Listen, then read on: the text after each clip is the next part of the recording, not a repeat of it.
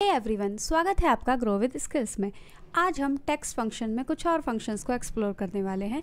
सबसे पहला हमारा जो फ़ंक्शन है, वो है एग्जैक्ट फ़ंक्शन तो एग्जैक्ट के बारे में मैं आपको थोड़ा सा बता देती हूँ। एग्जैक्ट फ़ंक्शन क्या करता है? हमारे पास दो टेक्स्ट होते हैं, ठीक है? दो स्ट्रिंग होती हैं। उन दोनों के बीच में एग्जैक्ट मैच है या नहीं है, ये हमें एग्जैक्ट फ़ंक्शन फाइंड आउट करके देता है। तो चलिए कुछ एग्जाम्पल्स के थ्रू इसको हम समझते हैं। सबसे पहले मैंने यहाँ पर कुछ एग्ज़ाम्पल दिया। फ़र्स्ट एग्ज़ाम्पल में मैंने क्या किया है? कुछ टेक्स्ट यहाँ पर दिया है और कुछ टेक्स्ट यहाँ पर दिया है। आपको डिफ्रेंशिएट ऑलरेडी हो रहा होगा कि दोनों में डिफरेंस है। ठीक है? अगर डेटा थोड़ा सा होता है तो आप तो वैसे ही एनालाइज कर लेंगे कि इनमें डिफरेंस है। बट अगर डेटा बड़ा है तो एनालाइज करना मुश्किल होगा। देख देख के एक एक को कि वो एग्जैक्ट मैच है या नहीं है तो वहाँ पर हम एग्जैक्ट फ़ंक्शन का यूज़ करेंगे। अब आप कहेंगे कि ये तो हम इक्वल टू के थ्रू भी चेक कर सकते हैं। ठीक है, एक यहाँ पर मैं एक आउटपुट लेती हूँ with equal operator okay that means equal to का साइन। और एक मैं आउटपुट लेती हूँ विद एग्जैक्ट फ़ंक्शन तो आपको दोनों में डिफ्रेंशिएट पता चलेगा कि इक्वल ऑपरेटर के साथ और एग्जैक्ट फ़ंक्शन के साथ क्या डिफ्रेंशिएट है ओके तो सबसे पहले हम इक्वल के साथ करते हैं। इक्वल में आपको कुछ नहीं करना, एक टेक्स्ट को सिलेक्ट करना है, बीच में इक्वल टू का साइन देना है और दूसरे टेक्स्ट को सिलेक्ट कर देना है राइट तो उसके लिए हम क्या करेंगे? डायरेक्ट ही सेल सेलेक्ट करेंगे। Equal to this equal to this और एंटर प्रेस कर देंगे। तो ये वैल्यू हमें ट्रू और फॉल्स में प्रोवाइड करेगा कि वैल्यू ट्रू है या फॉल्स है। ठीक है? अब इस केस में आपके पास डेटा डिस्प्ले हो रहा है। दो वैल्यू इसने ट्रू पास की है और दो वैल्यू फॉल्स पास की है। ग्रो और ग्लो इन, ये दोनों ही ग्रो थे। ये भी दोनों ग्रो थे। दोनों को इसने ट्रू दिया। यहाँ पर जी के बाद स्पेस है और यहाँ पर जी के बाद कोई स्पेस नहीं है, इसलिए ये फॉल्स दे दिया इन्होंने। राइट?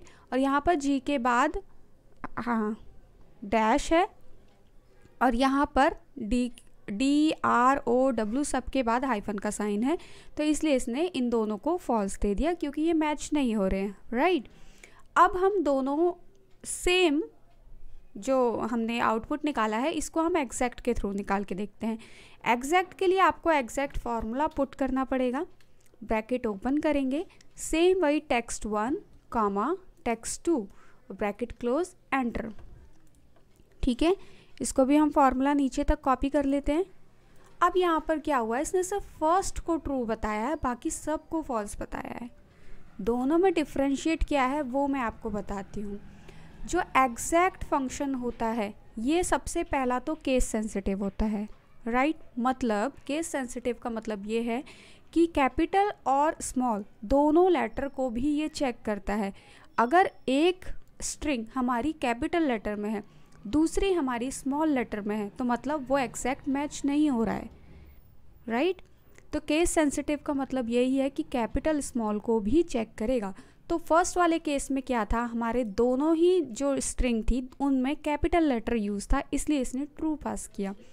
लेकिन सेकंड वाले में हमारा इसमें जो है जी जो है, वो कैपिटल है, लेकिन इसमें जी स्मॉल है, इसलिए ये फॉल्स पास किया। लेकिन इक्वल टू के केस में क्या हो रहा था?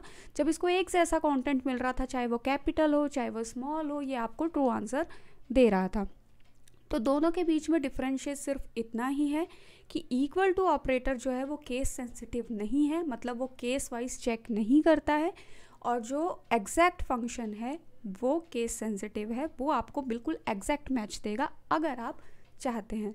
ठीक है, मैं सिर्फ़ फ़ंक्शन का यूज़ आपको बता सकती हूँ, बाकी उसको कैसे अप्लाई करना है, ये आप खुद से देखेंगे। नेक्स्ट एग्ज़ाम्पल मैं एक और लेती हूँ आपके लिए। इसको भी हम दोनों के थ्रू करके देखेंगे इक्वल टू के थ्रू भी और एग्जैक्ट के थ्रू भी। ओके तो चलिए सबसे पहले इक्वल टू के थ्रू करते हैं। This equal to this true output दिया कॉपी कर लेते हैं नीचे तक। उसके बाद यहाँ पर आते हैं। Exact text one comma text two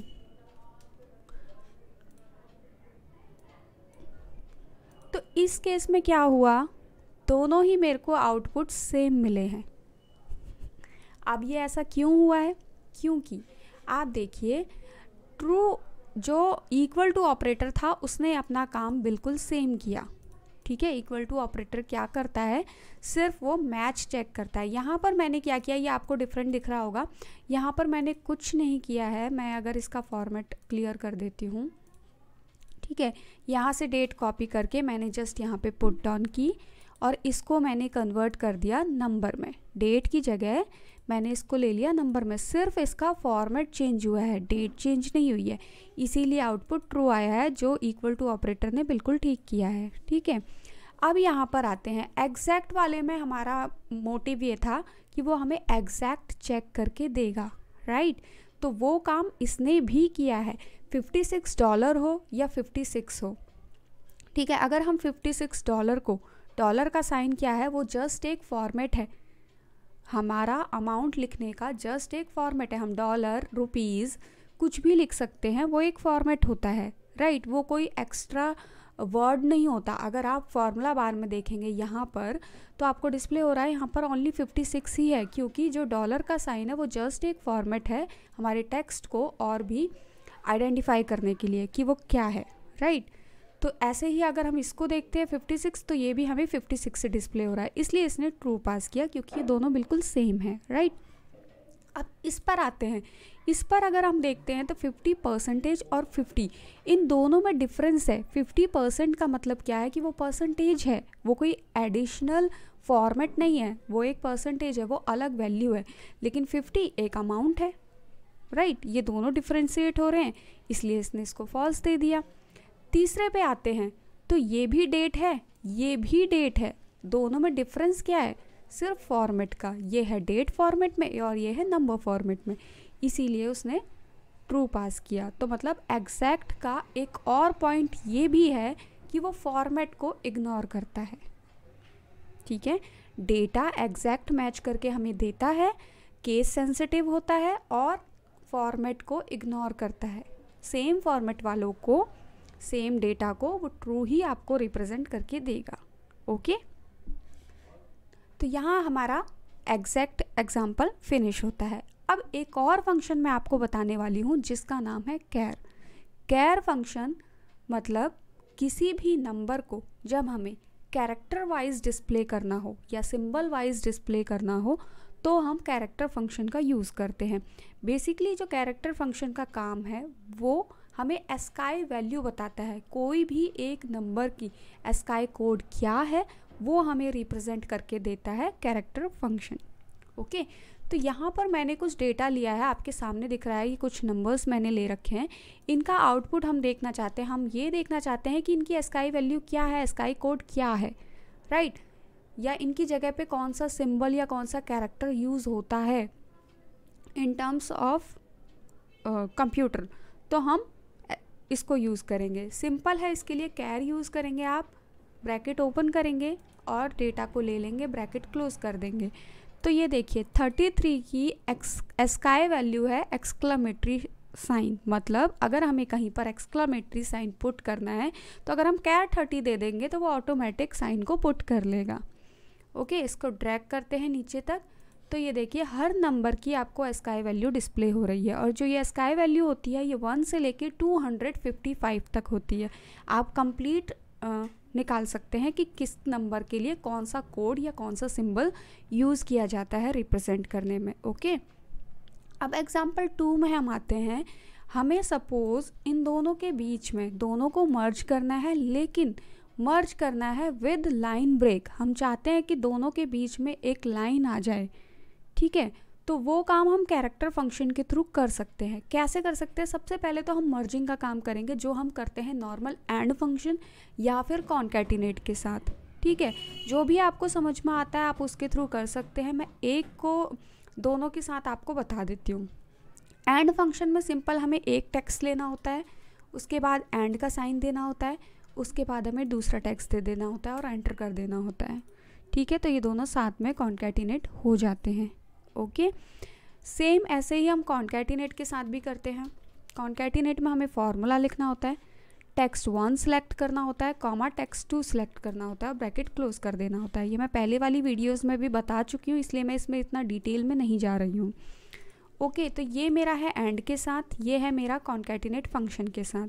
अब दोनों में मुझे काम क्या करना है? मुझे करना है कि मुझे कैरेक्टर लाइन ब्रेक का यूज़ करना है कि लाइन ब्रेक का कैरेक्टर क्या होता है, ठीक है? मतलब कैरेक्टर फ़ंक्शन के साथ हम लाइन ब्रेक देने वाले हैं। तो उसके लिए हम क्या करेंगे? पहले एंड वाले फ़ंक्शन में जाएँगे F2 प्रेस करेंगे। अब हमें लाइन ब्रेक चाहिए कहाँ पर? हेलो के बाद चाहिए मतलब फ़र्स्ट वाले टेक्स्ट के बाद, इस एंड के बाद चाहिए। तो हम यहाँ पर दे देंगे कैर और ब्रैकेट में देंगे टेन कैरेक्टर टेन जो यूज़ होता है मतलब नंबर टेन जो यूज़ होता है, वो लाइन ब्रेक के लिए यूज़ होता है। अब एक और एंड देंगे, क्योंकि मर्ज भी तो करना है। देखिए, अभी आपको कुछ नहीं डिस्प्ले हुआ है यहाँ पर राइट अब इसमें जाते हैं। इसमें भी पहले सेम काम कर लेते हैं कैरेक्टर टेन को दे देते हैं। अब यहाँ पर हम इस वाले के बाद देना है ना हमें? तो यहाँ हम देंगे कैर टेन और एक और कॉमा देंगे और एंटर कर देंगे। ठीक है, अब दोनों में आपको डिफरेंस अभी विजिबल नहीं हो रहा है। इस डिफरेंस को विजिबल करने के लिए हमें यूज़ करना पड़ता है रैप टेक्स्ट का ऑप्शन ठीक है? होम वाले ऑप्शन में मैंने आपको बताया था रैप टेक्स्ट क्या काम करता है। तो रैप टेक्स्ट का जब हम यूज़ करेंगे तो हमें ये जो डिफरेंस हमने किया है मतलब जो लाइन ब्रेक हमने पुट की है, वो विजिबल होगी। तो मैं इन दोनों के साथ सबसे पहले आपको बताती हूँ। रैप टेक्स्ट किया तो ये देखिए, ये एक लाइन ब्रेक ऐड हो चुकी है जो हमने कैरेक्टर्स टेन के साथ की थी बट इसमें वो चीज़ ऐड नहीं हुई। सेम हम इसके साथ भी करते हैं रैप टेक्स्ट करते हैं तो ये देखिए इसमें भी ऐड हुई है बट इसमें ऐड नहीं हुई है। तो कैरेक्टर फ़ंक्शंस के साथ हम ये लाइन ब्रेक भी ऐड कर सकते हैं। अब अगर आप देखना चाहते हैं कि मल्टीपल कैरेक्टर्स कैसे आ, क्या मतलब सॉरी क्या आ, किस नंबर का क्या कैरेक्टर है क्या स्काई कोड है तो वो आप इजीली देख सकते हैं। आप वन से लेकर नंबर काउंट कर लीजिए जहाँ तक भी आपको चाहिए। ठीक है? मैं आपको कुछ नंबर्स यहाँ पे लेके दिखा देती हूँ।